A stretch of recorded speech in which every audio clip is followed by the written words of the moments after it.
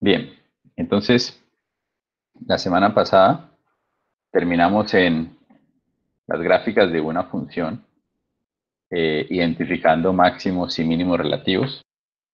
También vimos lo que son los números críticos, igual cómo calcular el, máximo absoluto de una función, el mínimo absoluto de una función, basándonos también eh, en las derivadas, obviamente. Y cómo graficar las funciones, saber cuáles son los máximos relativos, mínimos relativos a partir de los números críticos y del criterio de la primera derivada. Que si la primera derivada es, eh, es igual a cero, pues entonces tengo que mirar, o si la primera derivada no existe en un punto, tenemos que mirar qué pasa a la izquierda y a la derecha de ese punto. Si cambia de signo, entonces es un máximo o un mínimo. Y si no cambia, pues no es ni máximo ni mínimo.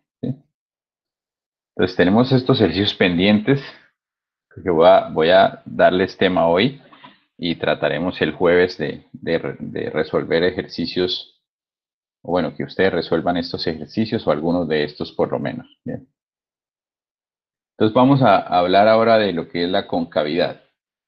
Entonces, eh, seguro algunos en el colegio han visto esto antes. Eh,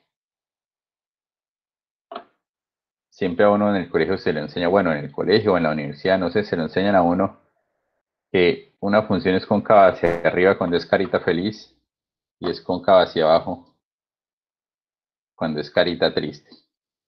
¿Qué quiere decir eso? Bueno, que la función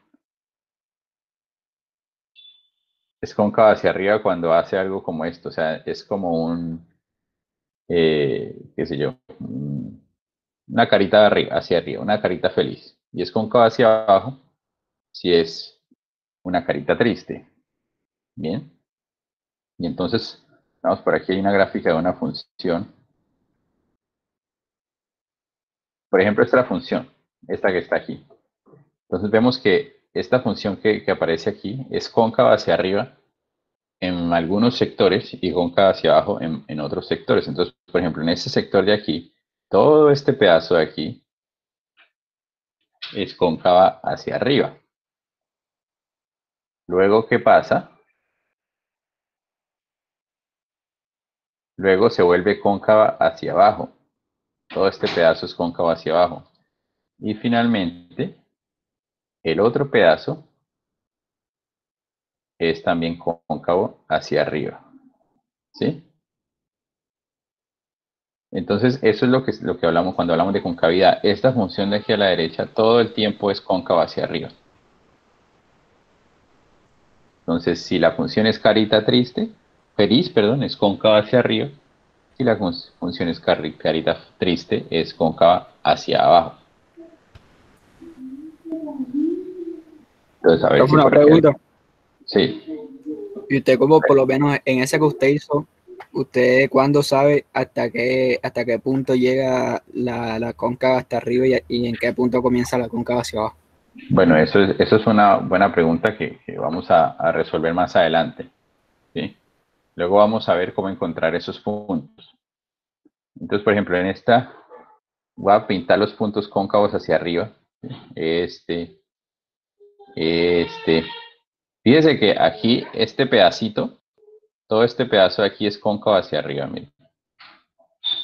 Todo este pedazo de acá. ¿Sí lo ven? O sea, es una carita feliz, pero como torcida. Este también. Este pedazo de aquí también es cóncavo hacia arriba. Este pedazo de aquí también es cóncavo hacia arriba. Y hay pedacitos cóncavos hacia abajo ahí. Entonces, por ejemplo, este pedazo aquí, ¿sí? Que va como, como para abajo, este pedazo aquí también. Y este también, que es como una carita triste, pero torcida también, ¿sí? Las líneas, pues no, no tienen ninguna concavidad. Las líneas rectas en sí mismas no tienen concavidad.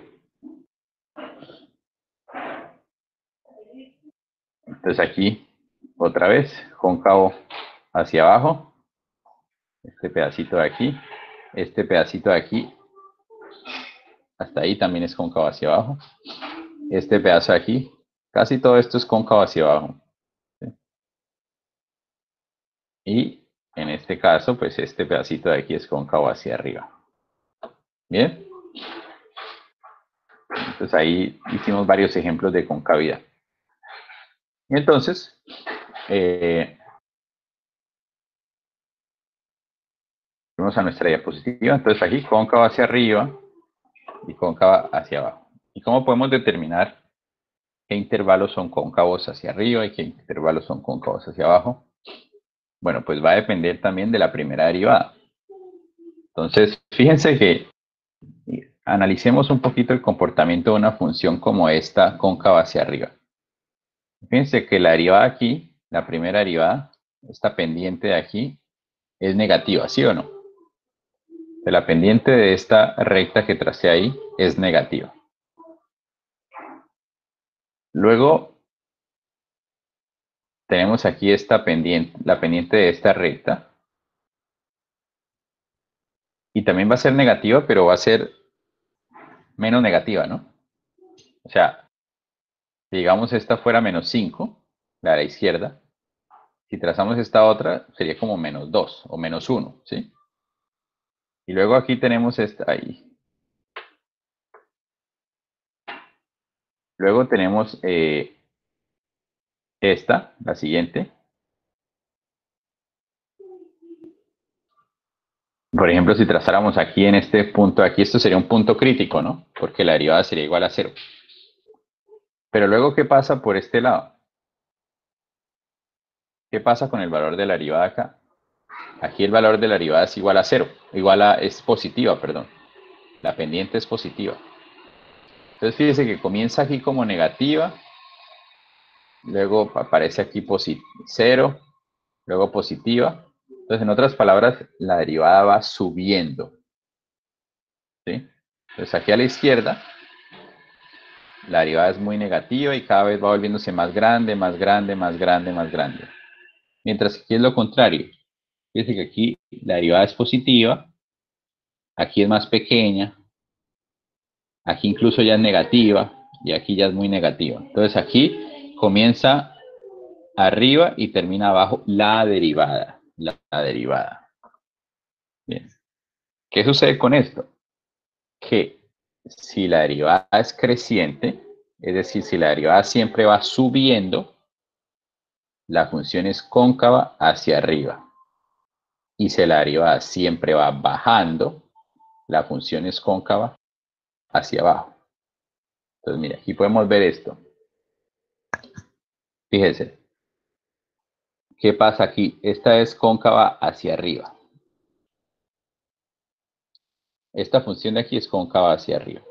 Fíjense que la derivada, la, pendiente inicialmente es así, muy, muy negativa. Luego se vuelve menos negativa.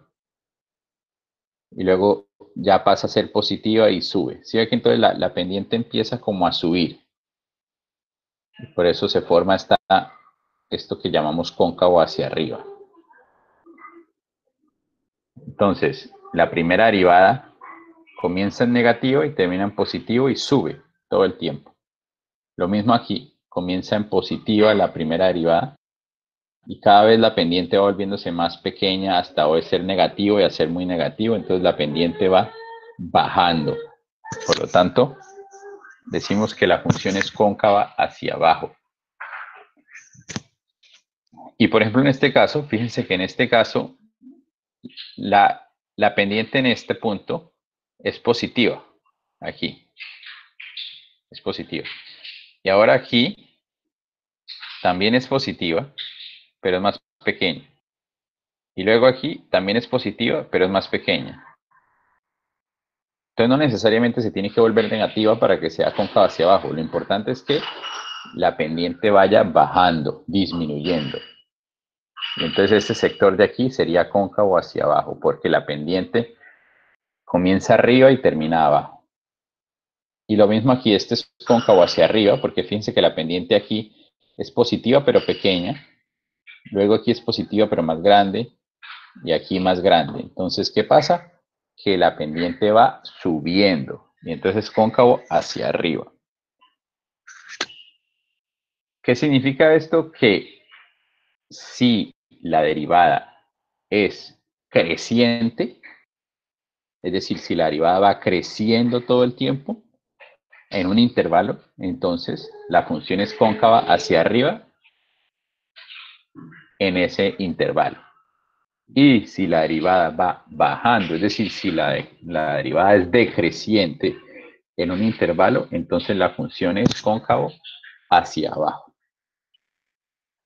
Y recordemos que teníamos antes con el criterio de la primera derivada. El criterio de la primera derivada decía que donde cambiara de signo, ¿sí? implicaba que la función se volvía aparecido máximo o mínimo. Bien. Y habíamos dicho que si la primera derivada era positiva, la función era creciente. Y si la primera derivada era positiva, era negativa, la función era decreciente. Vamos a ver un dibujito para recordar eso.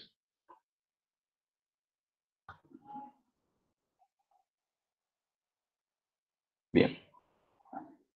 Pues vamos a dibujar aquí una, una función. Bien.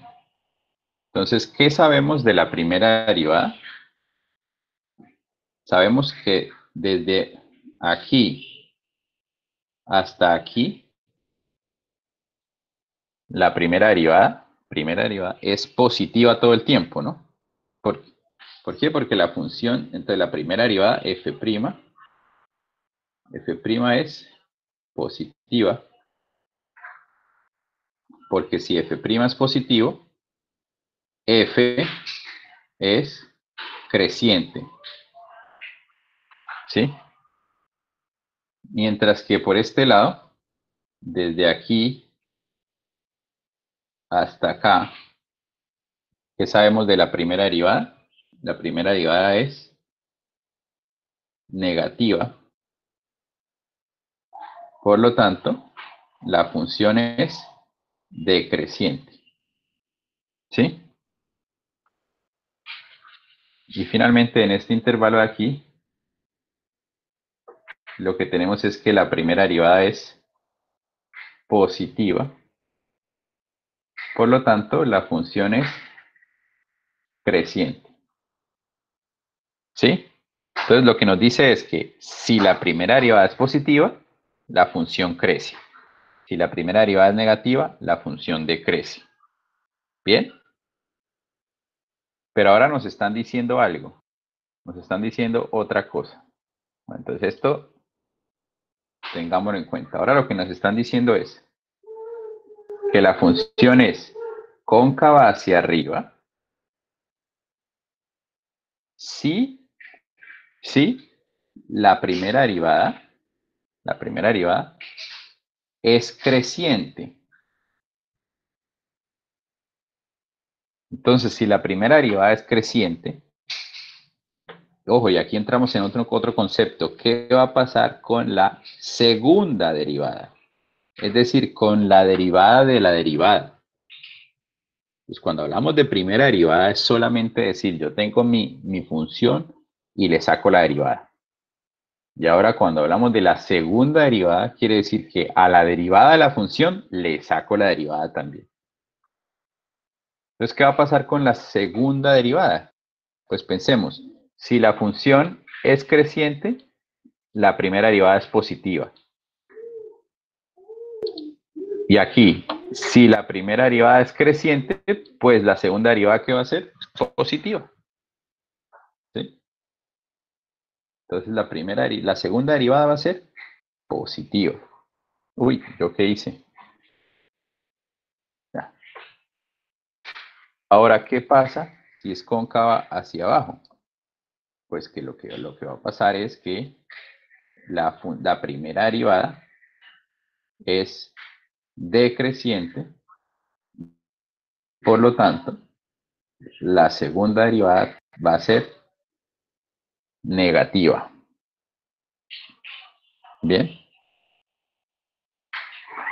Entonces, hay que empezar a entender todo esto.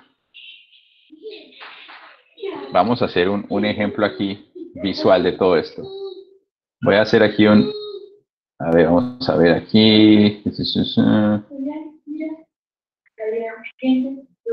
Por ejemplo, tenemos esa función que está ahí dibujada. Bien. Y vamos a identificar ciertos puntos ahí importantes. Entonces, vamos a ver, en este intervalo de aquí, este intervalo quiere decir desde aquí hasta acá. Entonces, va, en, en negro es la función original. ¿Qué pasa con f? f es creciente. ¿Sí? Va para arriba, obviamente. Como f es creciente, ¿qué sucede en todo ese intervalo con la primera derivada? Pues que la primera derivada es positiva. ¿Sí? Ahora, ¿qué va a pasar con la segunda derivada? En este pedazo que colocamos aquí, en este pedazo, todo esto es todo esto es cóncavo hacia arriba. Entonces también tenemos que ver que la primera derivada es es decreciente también. Y si la primera derivada es decreciente, lo que tenemos es que la segunda derivada es negativa. Y estas son las cosas que ustedes tienen que empezar a, identificar. ¿Sí? Aquí hasta dónde? Digamos que hasta por acá. hasta por acá, ¿qué va a pasar con, qué pasa? Primero, que la función es decreciente, ahora para abajo. Si la función es decreciente, ¿qué pasa con la primera derivada? Pues que la primera derivada es negativa. Y como sigue siendo cóncava hacia abajo, sigue siendo cóncava hacia abajo, ¿sí ven que esto es carita triste? pues entonces la primera derivada también es decreciente. Y por lo tanto, la segunda derivada también es negativa. ¿Sí? Y ahora aquí va a haber otro punto desde aquí hasta aquí. Otro pedazo. En ese pedazo, ¿por qué lo separé? Porque en ese pedazo, fíjense que ya deja de ser cóncava hacia arriba. Aquí es carita triste y aquí de aquí para adelante es carita feliz. Entonces, por eso ahí hice una, una separación. La función sigue siendo decreciente, porque va para abajo. La primera derivada sigue siendo negativa porque la función es decreciente. Pero ya la primera derivada no va para abajo, sino que la primera derivada va aumentando. Y por lo tanto, la segunda derivada ahora es positiva. Bien. Y digamos que esto va, va a seguir siendo esto va a seguir siendo cóncavo hacia, hacia arriba, hacia arriba, hacia arriba, como hasta por acá. Entonces, como hasta por aquí. En cuyo caso f, la función va creciendo.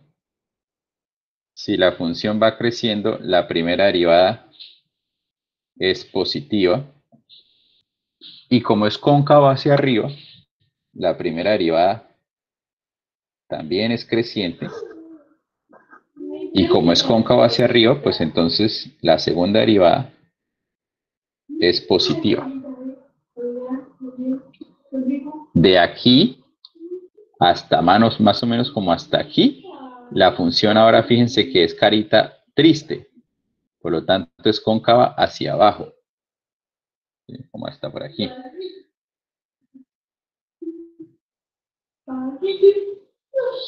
La función es creciente. Va creciendo todo el tiempo. Pero la primera derivada, ¿qué sucede? Como es creciente, es positiva. Como la función es creciente, la primera derivada es positiva. Pero, como es cóncavo hacia abajo, la primera derivada es decreciente. Y como es cóncavo hacia abajo, la segunda derivada es negativa. Bien. Y digamos que esto sigue así, es, es hasta como por hasta, hasta por aquí. Digamos que hasta por aquí, fíjense que es carita feliz, cóncava hacia arriba. Hasta como por hasta por aquí. La función ahora crece, sigue creciendo. La derivada, la primera derivada obviamente es positiva también porque es creciente. Pero como es cóncavo hacia arriba, ahora la primera derivada es creciente también, porque es cóncavo hacia arriba. Y por lo tanto, como es cóncavo hacia arriba, la segunda derivada es positiva. Y aquí todo este pedazo va a ser cóncavo hacia abajo. Pero voy a separarlo en dos pedazos. Aquí voy a poner otro, otro otra, rayita de estas. ¿Por qué lo separé ahí? Porque en este pedazo de aquí, f es creciente, pero en este pedazo de aquí, f es decreciente. Y eso quiere decir que en este pedazo de aquí, f' es positiva, y en este pedazo de aquí, f' es negativa. Y por lo tanto, en este pedazo de aquí, como f' es positiva, perdón, como la función es cóncava hacia abajo, ya sabemos que la primera derivada es decreciente en ambos lados, porque en ambos lados la concavidad es la misma. Y lo mismo sucede con la, la segunda derivada. La segunda derivada va a ser negativa y la segunda derivada va a ser negativa. Este tipo de análisis que acabé de hacer, ustedes tienen que ser capaces de hacerlo, de entenderlo. No de hacer el ejercicio y encontrar los puntos, sino de saber por lo menos qué está pasando con la gráfica. Primero, qué pasa con la función, qué pasa con la primera derivada y qué pasa con la segunda derivada. Estos, estos puntos de aquí, vamos a separar aquí porque hay dos tipos de punto aquí. Este punto de aquí, vamos a ponerlo con una X mejor. Este punto de aquí.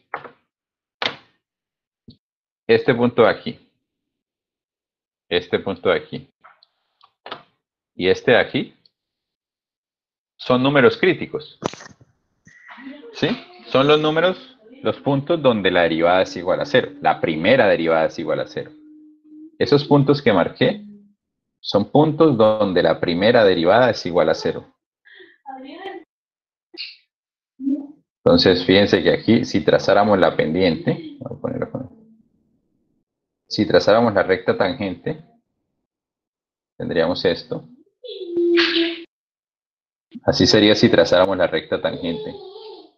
Serían puntos donde la derivada es igual a cero. Y por lo tanto son números críticos. ¿Qué va a pasar con los puntos donde cambia de concavidad? Fíjese que aquí, perdón, fíjese que aquí todo esto es cóncavo hacia abajo, hacia abajo, hacia abajo, hacia abajo y de repente cambia. Cóncavo hacia arriba.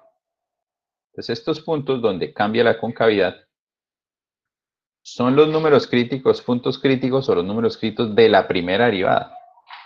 En otras palabras, estos puntos de que están aquí, este, que es donde cambia la concavidad, es un punto donde f'', es decir, donde la segunda derivada es igual a cero. Los puntos donde cambia la concavidad son los puntos donde la, la segunda derivada es igual a cero.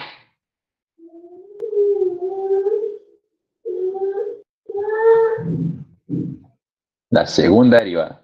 Y fíjense que estoy anotando segunda derivada de esta manera, f, y le pongo, perdón, le pongo dos palitos, f'', prima, denotando segunda derivada, dos palitos. ¿sí? Para una derivada, un palito, para dos derivadas, dos palitos. Entonces, estos puntos críticos son los puntos donde la primera derivada es igual a cero. Y los puntos donde cambia la concavidad son los puntos donde la segunda derivada es igual a cero. Bien. Esto es importante que lo entiendan. Profe. Más, allá de hacer ejercicios, ¿sí? Cuénteme. Una pregunta. Ahí en, como en el 1, 2, 3, en, el, en, el, la, en la quinta X, Aquí. ahí no cambia la concavidad también. Aquí también cambia la concavidad, tiene razón. Entonces, fíjense que estos puntos son especiales porque son puntos donde ambas derivadas son iguales a cero. De hecho, vamos a pintarlo. Estos son los puntos donde la primera es igual a cero.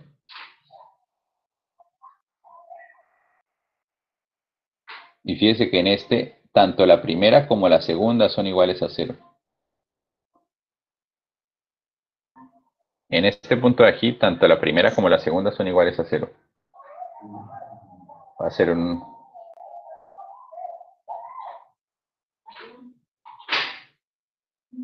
unos puntos especiales.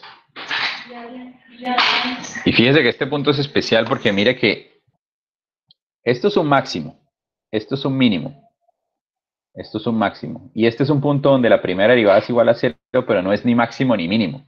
¿Se acuerdan que habíamos visto que eso podía pasar? Puntos donde la derivada es igual a cero, pero no es ni máximo ni mínimo. Pues cuando no es ni máximo ni mínimo es porque probablemente es un punto donde la segunda derivada es igual a cero. ¿Sí? Profe, pero verdad que cuando usted habla de segunda derivada, ¿a qué se refiere? ¿Qué? Cuando usted habla de segunda derivada, ¿a qué se refiere? Listo, vamos a ver eso, a qué me refiero.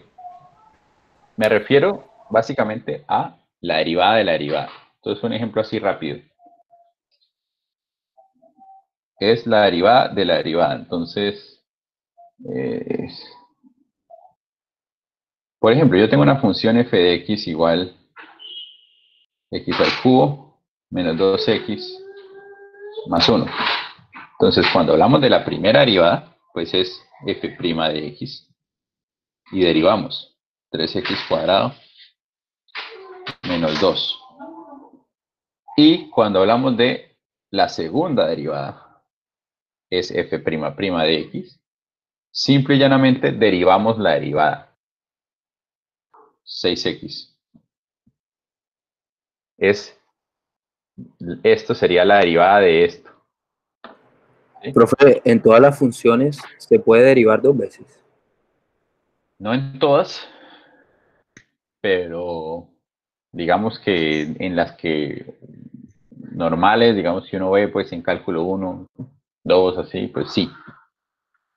¿Sí? Vale, vale. Profe, y, no existe la, la, la, definición de la derivada seguiría siendo la misma. Igualito. De la segunda para la segunda.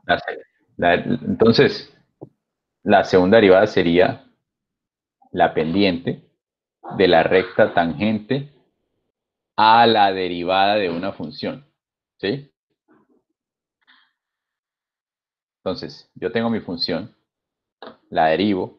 Si yo hiciera la gráfica de esta derivada, la gráfica de la derivada, pues entonces esto sería la pendiente de esa gráfica. Lo que pasa es que uno no, normalmente pues no pinta la primera derivada. Pero realmente lo que creo, lo, que más importa es ver, es ver esto, entender esto. Esto aquí se volvió ya una recocha porque hice muchos intervalos.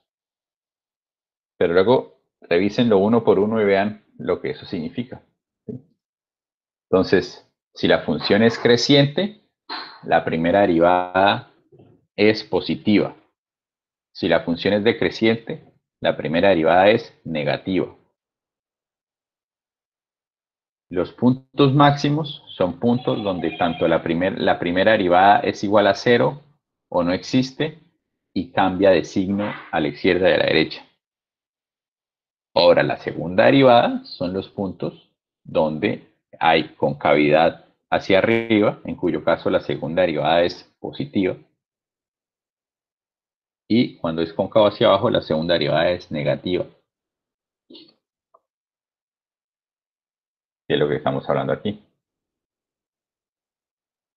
Entonces, no vayan a confundirse primera derivada con segunda derivada. Son dos cosas, son dos cosas distintas y tienen una interpretación distinta. Voy a explicar un poco más eso. Si yo tengo una función, digamos que es cóncavo hacia abajo, esta función. ¿Qué va a pasar? En todo el intervalo que está ahí pintado, lo que tenemos es que la segunda derivada ya sabemos, como es cóncavo hacia abajo, la segunda derivada todo el tiempo es negativa. La segunda derivada, porque es cóncavo hacia abajo. Como es cóncavo hacia abajo, la primera derivada es decreciente. Decreciente. Disminuye todo el tiempo. La primera derivada. ¿Y qué sabemos de la función? Bueno, pues la función es cóncava hacia abajo. Pero incluso uno podría pensar en dos pedacitos.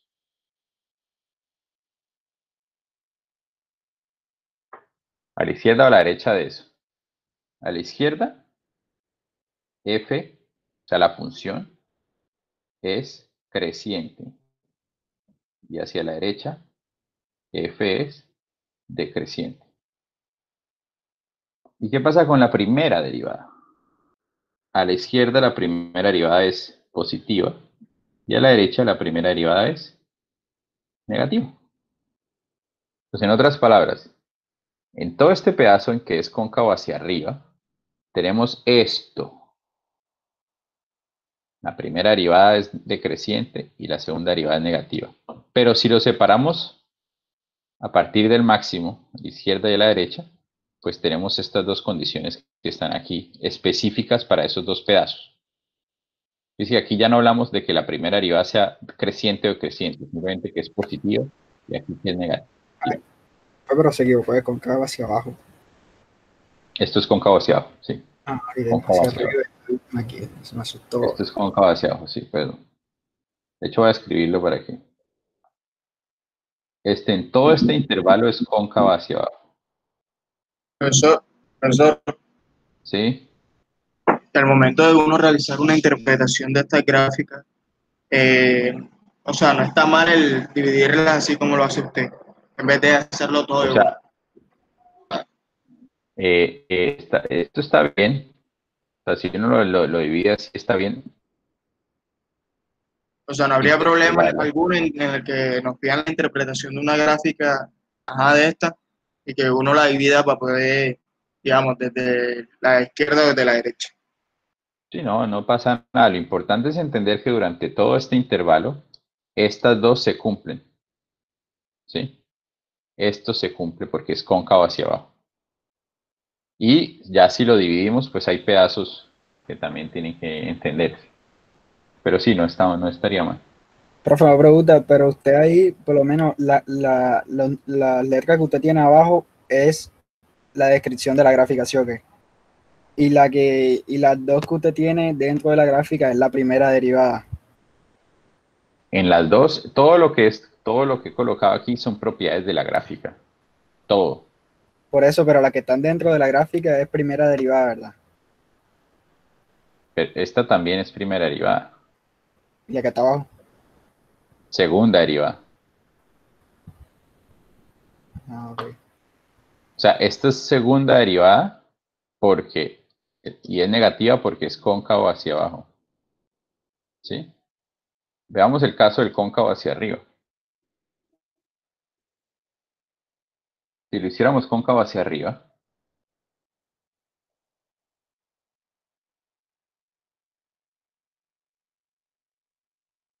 Entonces, durante todo, este, durante todo este intervalo que aparece aquí, bueno, esto es cóncavo hacia arriba, cóncava hacia arriba. Durante todo ese intervalo, la función es cóncava hacia arriba. Y como es cóncava hacia arriba, durante todo ese intervalo, la segunda derivada, como es cóncava hacia arriba, es positiva. Y como es cóncava hacia arriba, la primera derivada es creciente.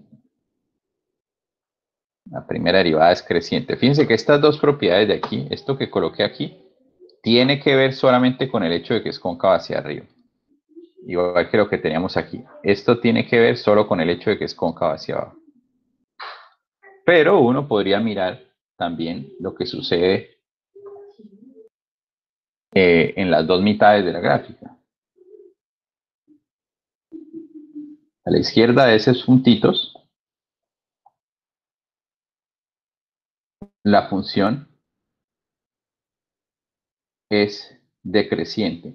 Y a la derecha, la función es creciente. Por lo tanto, también podemos saber que la primera derivada es, en el primer caso, negativa y en el segundo caso, positivo. todo esto se cumple para todo el intervalo y estos chiquiticos se cumplen en una mitad y este en la otra mitad. ¿Sí? Es importante que empiecen como a, mirar, hacer gráficas y ver qué pasa con la concavidad. Bien. Eh, ahora, yo les dije entonces que donde cambia la concavidad son los puntos donde la segunda derivada es igual a cero. Entonces vamos a ver eso qué significa. Bueno, esto ya lo vimos. Pero bueno, entonces primero analicemos ahora a partir de la función, de la ecuación de la función, analizar si una función es cóncava hacia arriba o es cóncava hacia abajo y en qué intervalos es cóncava hacia arriba y en qué intervalos es cóncava hacia abajo. Entonces la función que tenemos ahí es f de x igual a x al cubo más 9 medios por x al cuadrado, de x al cuadrado.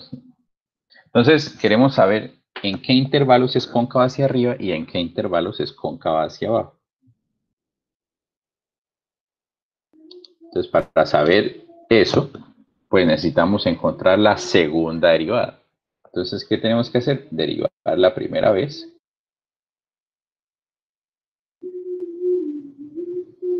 Eh, más 9x. ¿Sí? Ahí la tenemos la primera derivada. Ahora la segunda derivada. Sería 6x. y ahí ya tenemos la segunda derivada. Y entonces queremos saber en qué intervalos la función es cóncava hacia arriba y en qué intervalo la función es cóncava hacia abajo. Entonces lo que queremos saber básicamente es para qué valores esto es positivo y para qué valores esto es negativo. Porque los valores donde eso sea positivo es cóncavo hacia arriba y donde eso es negativo es cóncavo hacia abajo.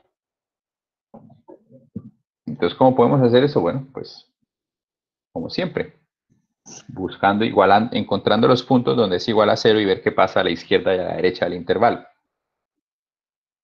Entonces, 6x más 9 igual a cero y buscamos ¿Dónde se soluciona esto? Decir menos 9 sextos. Menos 3 medios. Y miramos el intervalo.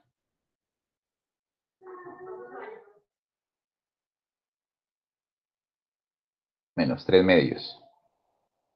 Entonces, y aquí colocamos 6 sextos menos 9. Entonces a la izquierda a la derecha de S menos 3 medios, esto es positivo. Y a la izquierda de S menos 3 medios es negativo. Entonces, ¿qué quiere decir eso? Que la función es cóncava hacia arriba en este pedazo y cóncava hacia abajo en este pedazo. ¿Por qué? Porque la primera derivada es positiva acá y es negativa aquí. Entonces la función es, ya para ser formal, cóncava hacia arriba, cóncava hacia arriba, en el intervalo donde la segunda derivada es positiva, por lo tanto es cóncava hacia arriba entre menos 3 medios, en el intervalo menos 3 medios a infinito, y es cóncava hacia abajo en el intervalo desde menos infinito hasta menos 3 medios, porque es el, intervalo donde la función es negativa, la derivada, la segunda derivada es negativa. Bien. Y hacer ejercicios, seguir acostumbrándose a esto. Entonces, ahora viene una definición, que es el punto de inflexión, era lo que ya habíamos visto, que yo intentaba comentarles antes. Punto de inflexión es donde la concavidad cambia. ¿Ven? Es donde la concavidad cambia. Aquí es cóncavo hacia abajo, este primer sector y a partir de aquí es cóncavo hacia arriba. Aquí cambia la concavidad. Y es curiosamente este punto aquí, menos 3 medios, es el punto donde la segunda derivada es igual a 0. Y fíjense que fue lo que hicimos en nuestro ejercicio. Es justamente este punto, menos 3 medios, que es donde la segunda derivada es igual a cero. Entonces los puntos donde la segunda derivada sean iguales a cero son los puntos de inflexión. ¿Sí? Los puntos donde cambia la concavidad. Y fíjese que tiene que ocurrir esto, que cambie el signo. Bien. Entonces, si hay un punto de inflexión, entonces la segunda derivada es igual a cero. O la segunda derivada no existe. Entonces esto juega el mismo rol de los números críticos. Los puntos de inflexión son puntos donde la segunda derivada es igual a cero y donde la segunda derivada no existe. Recordemos que los números críticos son los puntos donde la primera derivada es igual a cero o donde la primera derivada no existe. Pues entonces el equivalente es el punto de inflexión donde la segunda derivada es igual a cero y la segunda derivada no existe. Bien. Entonces, ¿y esto para qué nos sirve? con el criterio de la primera derivada podíamos saber si un número crítico era un máximo o un mínimo y lo que teníamos que ver era si el signo de la primera derivada cambiaba. Te recordemos aquí. Entonces hacíamos nuestra función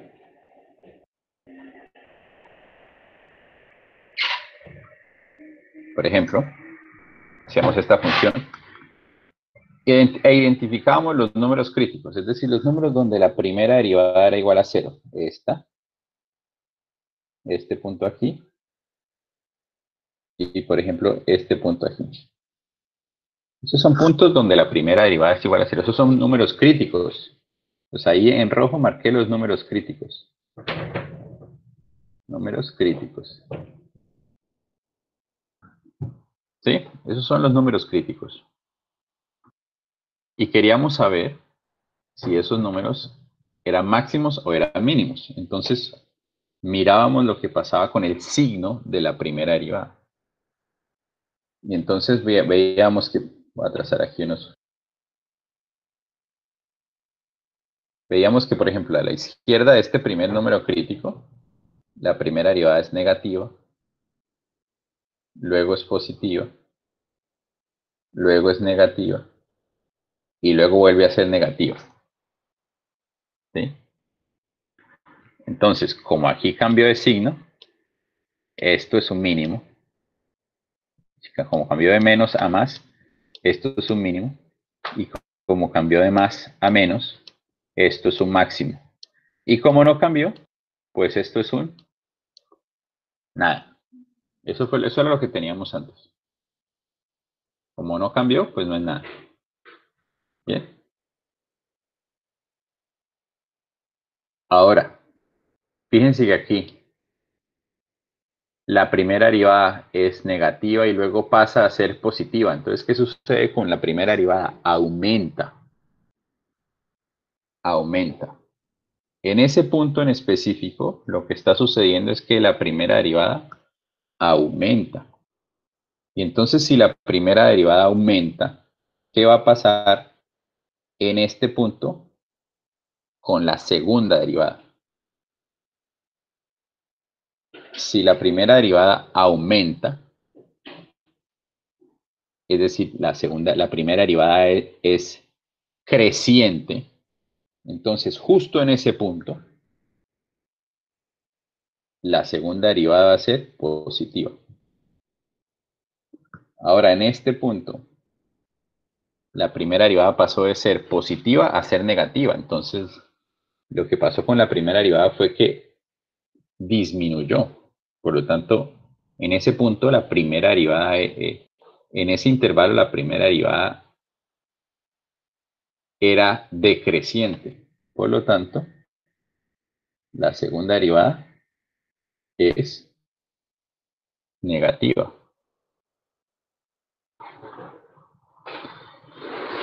Mientras que en este punto de aquí, lo que sucedió simplemente fue que hubo un cambio de concavidad. Es decir, aquí iba cóncavo hacia arriba y cambió a ser cóncavo hacia abajo. Entonces, en este punto de aquí, lo que sucedió fue que la segunda derivada era, fue igual a cero. Entonces, ¿eso en qué se resume? En que si yo tengo un número crítico donde la segunda derivada es positiva, Entonces esto es un mínimo.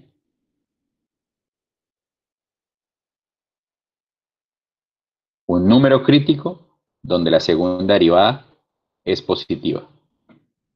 Y si yo tengo un número crítico donde la segunda derivada es negativa, entonces es un máximo.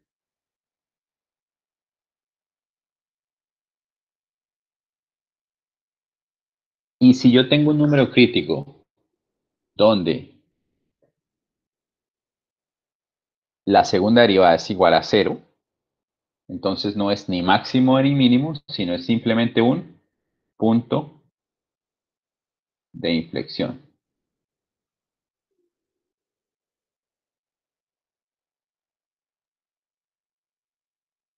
¿Listo? Entonces, ¿Esto para qué nos sirve? Entonces tenemos esto para saber si un punto es mínimo o máximo. Entonces, para saber si un punto es mínimo o máximo, o para hallar todos los mínimos y los máximos de una función, tenemos que hallar primero todos los números críticos y luego ver cuánto vale la segunda derivada en esos números críticos. No sé si esto tiene, no, no lo tiene. Entonces voy a llevarlos a la diapositiva que teníamos hace la semana pasada.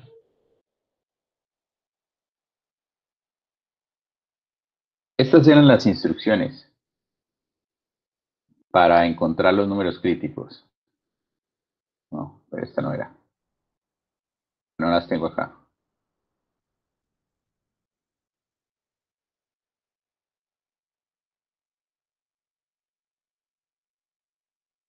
No están aquí. Pero entonces, ¿qué es lo que tenemos que hacer entonces ahora para, para encontrar los máximos y los mínimos? Ya no tenemos que ponernos a ver si cambia de signo la segunda derivada, etcétera, sino que simplemente buscamos los números críticos y evaluamos la segunda derivada en esos números críticos. Y con eso vamos a saber si es un mínimo o un máximo, o un punto de inflexión. ¿Sí?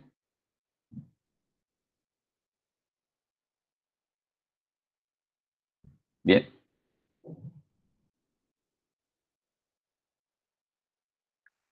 Entonces, fíjense.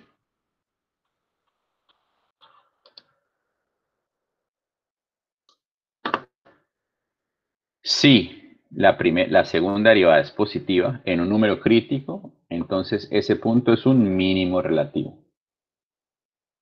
Si la segunda derivada es negativa, entonces ese número es un máximo relativo.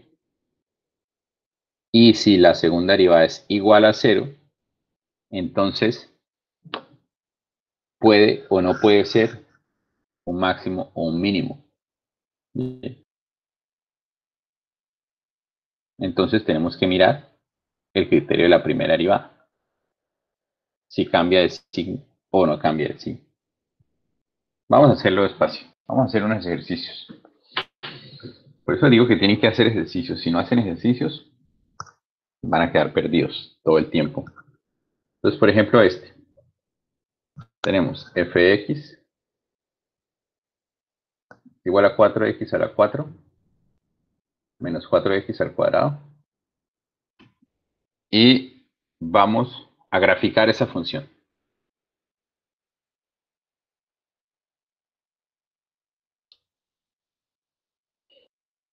Entonces, para graficar esa función,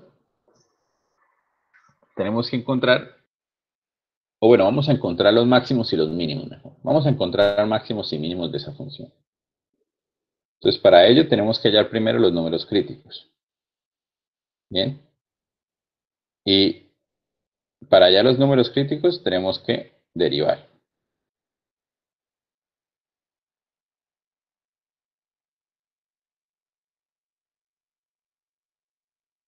Y las instrucciones era primero derivemos y luego factoricemos lo máximo que podamos. Entonces factorizamos lo máximo que podamos.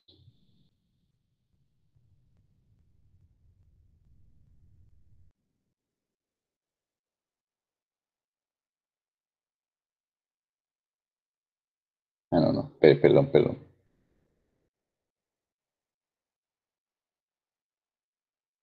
Ahí factorizamos eso.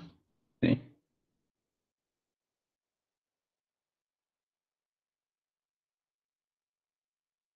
Bien. Y aquí una diferencia de cuadrados exótica.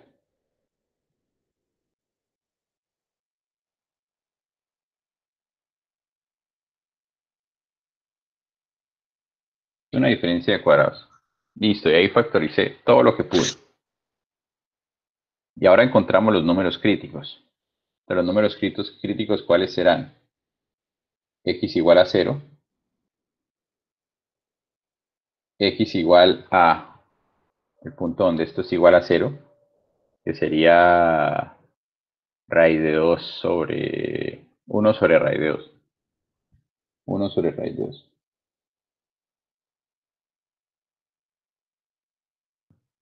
Y aquí menos 1 sobre raíz de 2. Entonces ahí encontramos los números críticos. Estos tres son los números críticos. Los puntos donde la derivada, la primera derivada es igual a 0. Y ahora queremos saber si es un máximo o un mínimo. Pues para saber si es un máximo o un mínimo tenemos que hallar la segunda derivada. Aquí va a ser, va a ser 48, la derivada de la derivada. Ah. no se alcanza el espacio.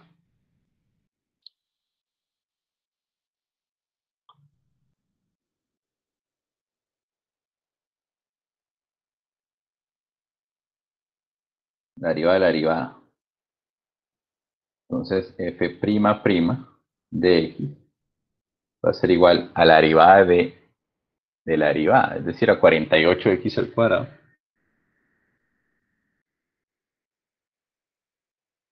Menos 8. 48x al cuadrado menos 8. Entonces, queremos ver si es un máximo o mínimo, entonces evaluamos por el criterio de la segunda derivada. ¿Cuánto vale f' de 0? Este primer número crítico. Y eso me da menos 8. Eso quiere decir que ese primer número crítico, como la primera derivada es negativa, es un máximo. Máximo.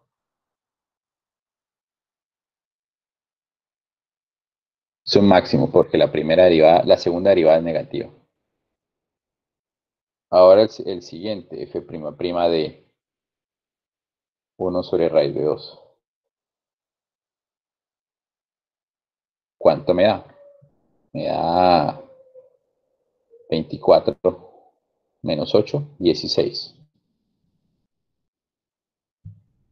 Es positiva, por lo tanto, es un mínimo.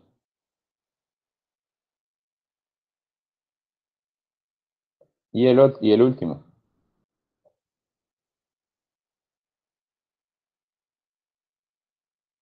Y me da, también 16. ¿Sí o no? Por lo tanto, también es un mínimo. Y por el criterio de la segunda derivada hemos encontrado si es máximo o mínimo. Si hubiéramos hecho el criterio de la primera derivada, tendríamos que ver, hacer el cementerio. Y hagámoslo para ver que nos va a dar igual. Hagamos el cementerio. Entonces, por el cementerio que tendríamos, tendríamos 8x raíz de 2x menos 1 y raíz de 2x más 1, la recta, menos 1 sobre raíz de 2, 0 y 1 sobre raíz de 2. Entonces en 8x, toda la derecha, positivo. En raíz de 2x sería este, no, no, perdón. Esta. Y aquí sería este.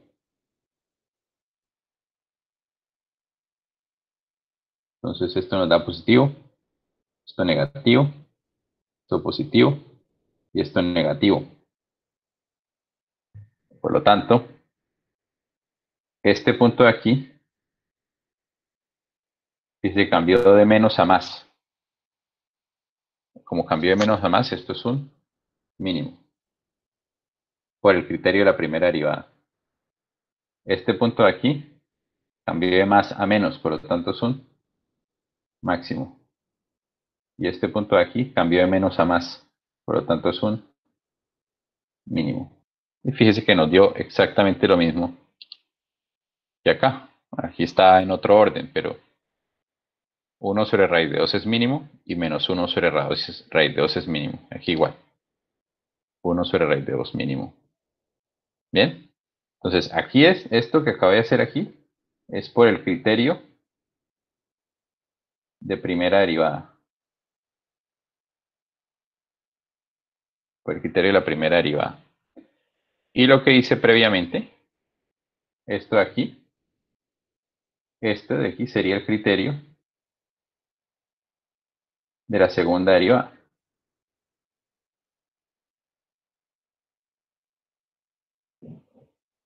Hagamos otro ejercicio.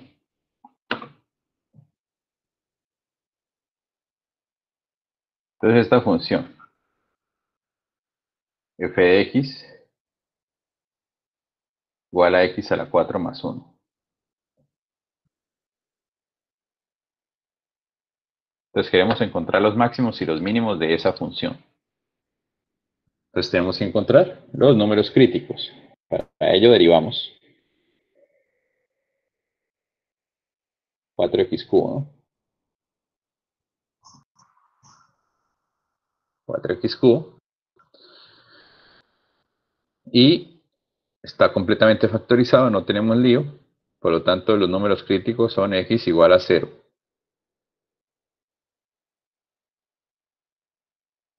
Y ahora queremos saber si eso es un máximo o un mínimo. Entonces derivamos por segunda vez.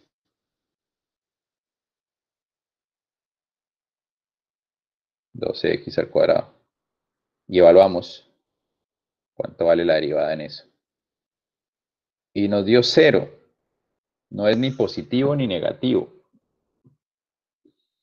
Entonces, ¿qué pasa? No podemos, cuando, cuando nos da 0, no podemos usar el criterio de la segunda derivada. No lo podemos usar. Entonces, tenemos que usar el criterio de la primera derivada. Entonces, tenemos que hacer el cementerio. Entonces yo ya les había dicho que cuando aparecía el cubo, pues que se ponía tres veces, ¿no? X, X, X. Solo está cero. Entonces, positivo, positivo, positivo, negativo, negativo, negativo. Positivo, negativo. ¿Ves? Y cambió de signo. Por lo tanto, este número crítico cambió de menos a más, por lo tanto es un mínimo.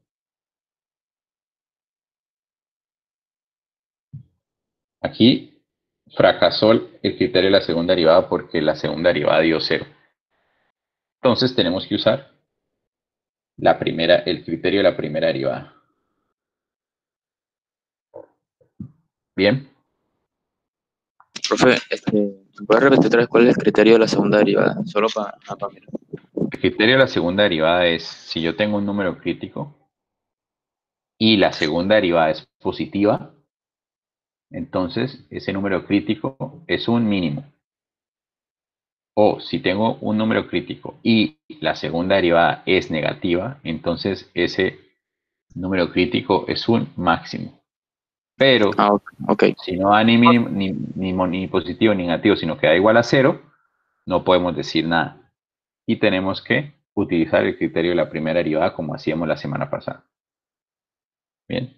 Eh, o sea que ese C que está en las reglas que usted mostró es el número crítico. Sí, exactamente, es el número crítico. Ah, ok. Bien.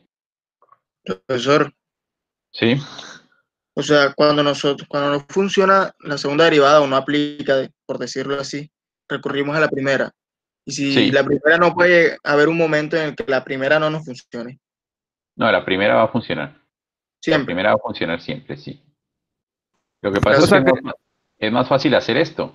¿sí? O sea, en este caso, por ejemplo, en el anterior, aquí, no, en este, era más fácil hacer esto que hacer esto. Entonces es mejor uno intentar esto y lo que no pueda, pues sí, ahí sí lo hace con la otra. Bueno, cuente.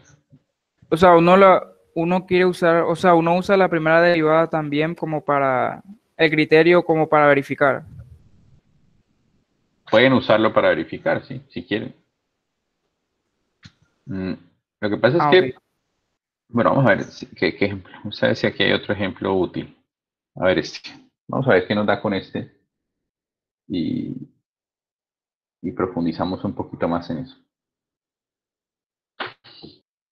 Entonces, f de x. Realmente ustedes pueden hacer lo que quieran para encontrar los máximos y los mínimos.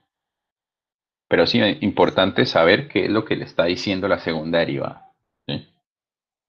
En un ejercicio, digamos, si les dicen, hay los máximos y los mínimos, hagan lo que se les dé la gana, pero den, los máximos y los mínimos. Pero en la vida es, mejor saber qué es lo que está pasando, qué es lo que dice la segunda derivada. Pero bueno, vamos a ver este 2 coseno de x menos coseno de 2x.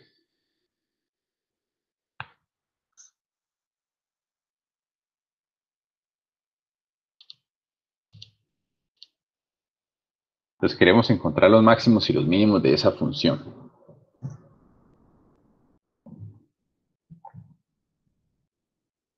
Entonces derivamos.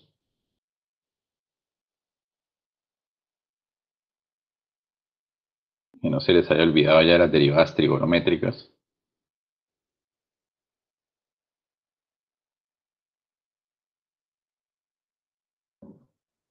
¿Mm? Es eso, ¿no? Ahí tenemos eso.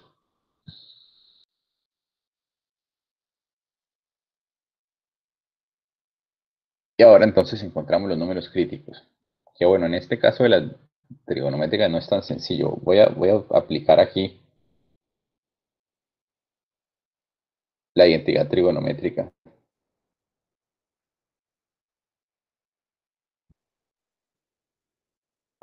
De que el seno de 2x es dos veces seno de x por coseno de x.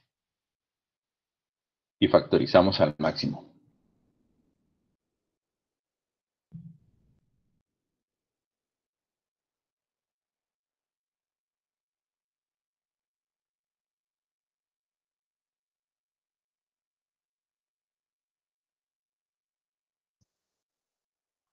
Bien. Y entonces los puntos donde esto es igual a, a cero son los puntos donde seno de x es igual a cero. Vamos a suponer que están en intervalo de 0 a, a, 2pi para no ponernos a, a utilizar aquí en el, vamos a digamos que esto va de 0 a 2pi. Porque recuerden que la, las funciones trigonométricas son periódicas por todos los reales. Entonces tendría infinitas soluciones esa, esa cosa, pero digamos que es de 0 a 2pi nada más. Por lo tanto, x es la inversa de, de 0. Y la inversa de 0 es 0. ¿No? Seno de 0 es 0. Bien no, no lo hagamos desde 0 a 2pi, sino de menos pi, de menos 2pi.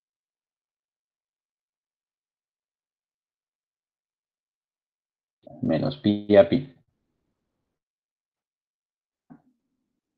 Listo, este es 1. Y el otro es menos 1 más coseno de 2x igual a 0. Entonces despejamos. Ah, menos 1 más 2 coseno de x. Despejamos y lo que nos da es que coseno de x es igual a un medio. Por lo tanto, x es la inversa de un medio. La inversa del coseno de un medio.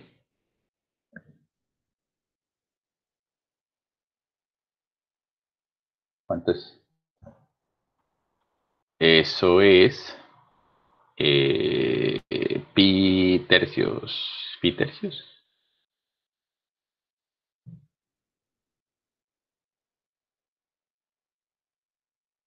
Eso es pi tercios. O dos pi tercios. Ya me olvidó. Alguien que, me, alguien que se lo sepa. ¿Alguien se sabe esto? La inversa de un medio. De, de coseno inverso de un medio. No se lo sabe el profesor, se lo va a saber uno. 60 grados. No, pues eso, es en el colegio, a mí ya me olvidó del colegio. 60 grados, pi tercios. Pi tercios. Pi tercios.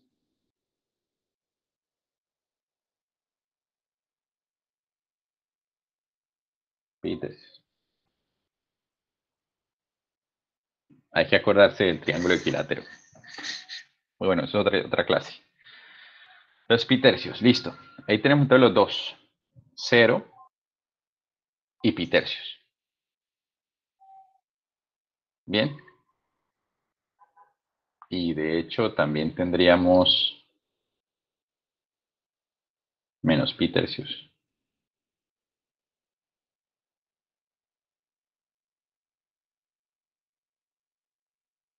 No, pi tercios, está bien. Listo. Entonces, ya tenemos esos dos puntos críticos. Ahora, ¿cómo sabemos si son máximos o mínimos? Fíjense que el criterio de la primera derivada aquí es difícil de hacer. Que no, no, podemos hallar, es, es complicado. Entonces, mejor hallamos el criterio de la segunda derivada. Entonces, la segunda derivada. Derivamos por segunda vez f' prima de x. Es decir, la derivada de esto que está aquí. Pues, ¿qué nos da? Nos da menos 2 coseno de x. Bien. Más 4 coseno de 2x.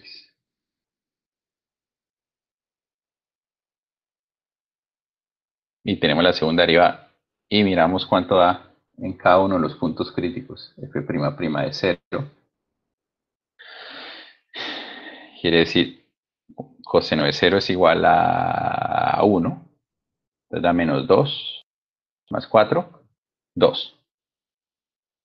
Es positiva. Por lo tanto, si es positiva, quiere decir que esto es un mínimo.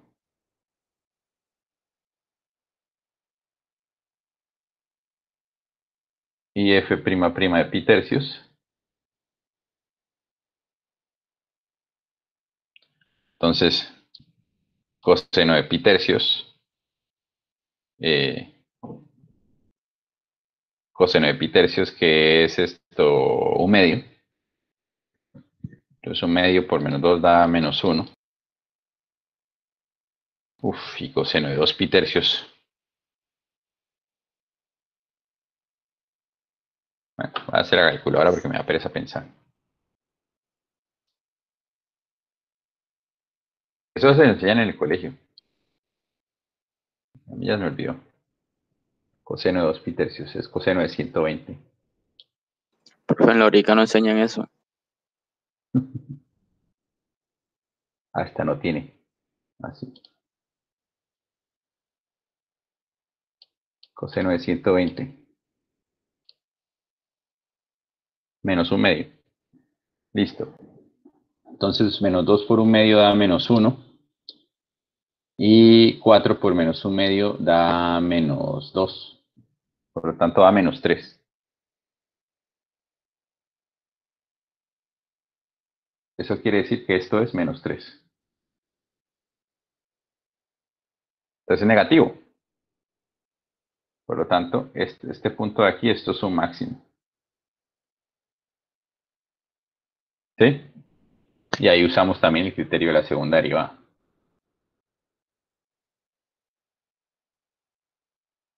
Bien. Entonces, como les digo, hay que ponerse a hacer ejercicios. Y aquí hay varios. Bueno, aquí hay varios ejercicios de, de Halle, los puntos de inflexión, etc. Pero yo quiero que hagamos este. ¿Cuánto tiempo nos queda?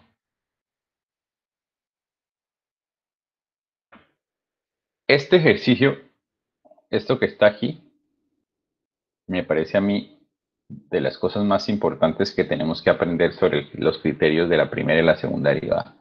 Ser capaces de hacer una gráfica a partir de la información que tenemos de, de las derivadas.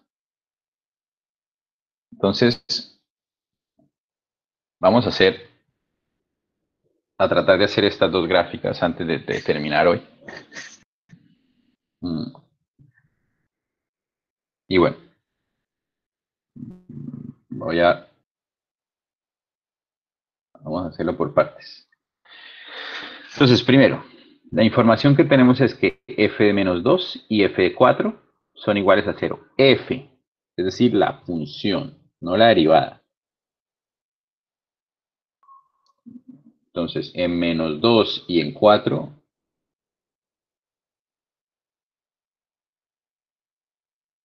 la derivada, perdón, la función es igual a 0. Entonces, aquí es 0 y aquí es 0. Por ahí pasa. ¿Listo?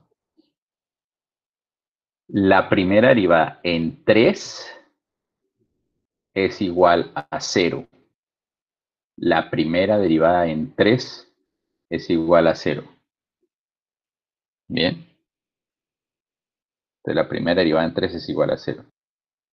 Entonces, en 3, aquí en este puntico de aquí, en algún, en algún pedazo, en alguna parte de todo esto, la primera derivada es igual a 0. Entonces voy a poner aquí f' de 3 es igual a 0. O sea, en algún punto de todo este lado aquí, o es un máximo, o es un mínimo, o es un punto de inflexión. No sabemos qué es todavía. Veamos qué dice aquí. Tenemos que f' de x es menor que 0 entre si x es menor que 1. Si x es menor que 1. Entonces, si x es menor que 1, es decir, de aquí para allá, de aquí para allá, f' es menor que 0. Y si f', es decir, la segunda derivada es menor que 0, quiere decir que la segunda derivada es negativa, por lo tanto, la función es cóncava hacia abajo. Entonces ya sabemos que por todo este sector, la función es cóncava hacia abajo. Entonces digamos que puede ser algo así. Por ejemplo,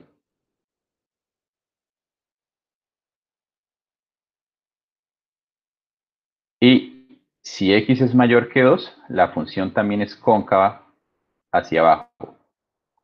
Mientras que entre 1 y 2, la segunda derivada es positiva, por lo tanto la función es cóncava hacia arriba.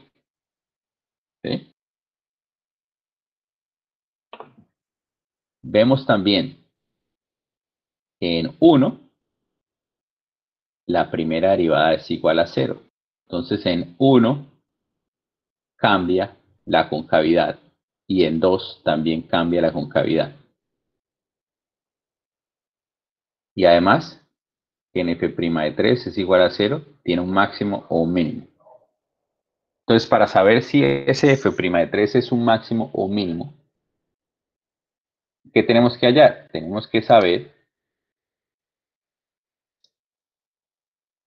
¿Qué pasa con f' de 3? La segunda derivada en 3, de acuerdo a las indicaciones que nos están dando ahí, ¿es positiva o negativa? Y vemos aquí que la segunda derivada es negativa si x es mayor que 2. Entonces quiere decir que en este caso... Eso, eso, eso. Bien esto. En este caso, la segunda derivada es negativa en el punto 3. Entonces, como por el criterio de la segunda derivada, tendríamos que en f' de 3 hay un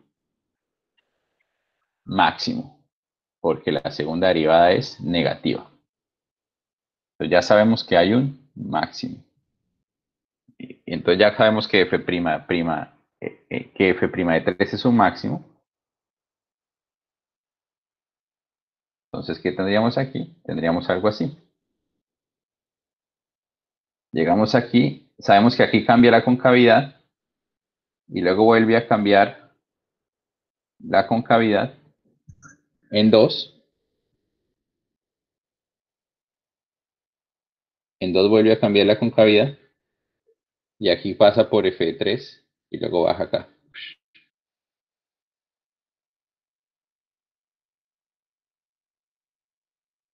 Fíjense que el hecho de que pasar aquí, no voy a hacerlo pasar por aquí para que no crean que es que tiene que pasar por cero ahí.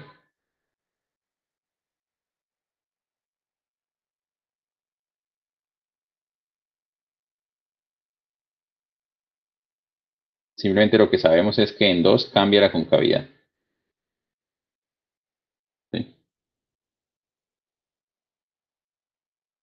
Y allá tendríamos todo. Vamos a revisar una, una por una. f' de 3 es igual a 0. Sí, porque fíjense que aquí hay un máximo. Entonces, esto se cumple. Sabemos que la gráfica pasa por aquí y por aquí. Eso se cumple. Sabemos que la gráfica para x menor que 1, hacia allá, todo este pedazo de aquí, la segunda derivada es negativa, por lo tanto, es cóncavo hacia abajo, está bien. Para todo valor de x mayor que 2, la segunda derivada es negativa también y es cóncavo hacia abajo, estamos bien. Entre 1 y 2, la segunda derivada es positiva, por lo tanto es cóncavo hacia arriba, Y sabemos que como aquí es positiva, esto tiene que ser un máximo. Ya cumplimos todas las indicaciones que nos daban acá. Ya las cumplimos todas. Ahora grafiquemos esta, esta de aquí. Entonces esta es otra gráfica.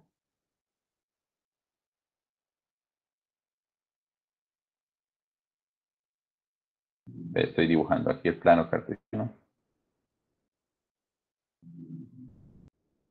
Entonces, ¿qué nos dice? Que f de 0 es igual a 5 y f de 2 es igual a 0. Entonces, eso simplemente es marcar f de 0 es igual a 5.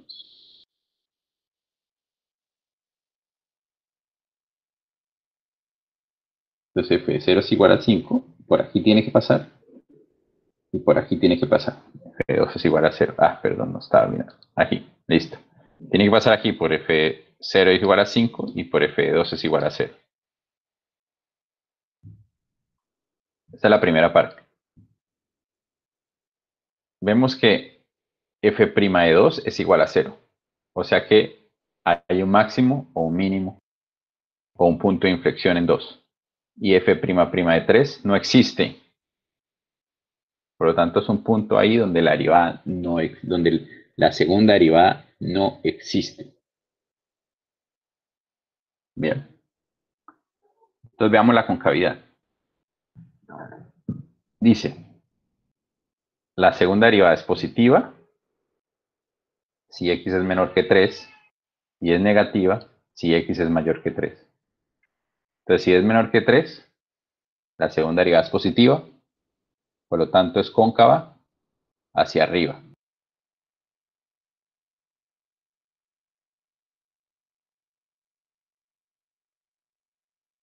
Es decir, aquí está 3. De ahí para la izquierda es cóncava hacia arriba. Bien. Y de ahí para la derecha es cóncava hacia abajo. Entonces, de ahí para la derecha es cóncava hacia abajo. Entonces, ah, hagámoslo con negro. Digamos que de ahí para la derecha lo podemos dibujar así, cóncavo hacia abajo. ¿Qué otra cosa sabemos? Que la segunda derivada no existe en 3. Por lo tanto, es un, es un punto donde cambia la concavidad. ¿Sí? La concavidad cambia. Entonces, así como aquí venía, Luego,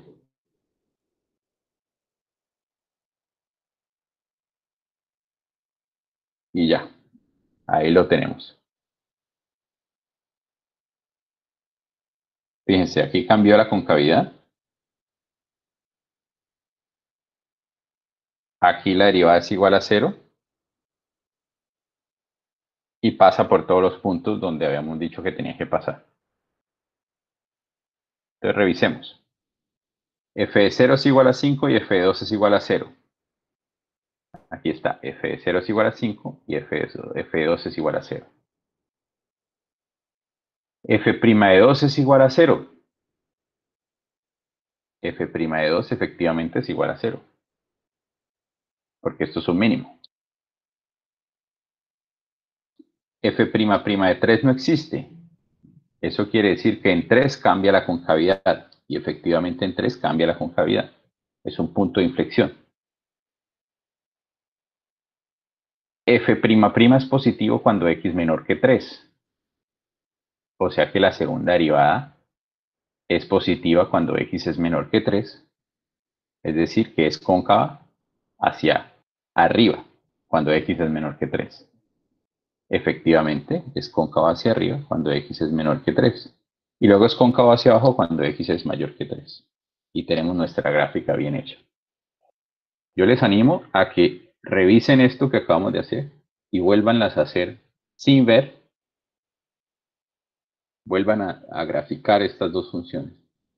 Sin ver, sin mirar el video. ¿Bien? hasta que lo hagan. Bien.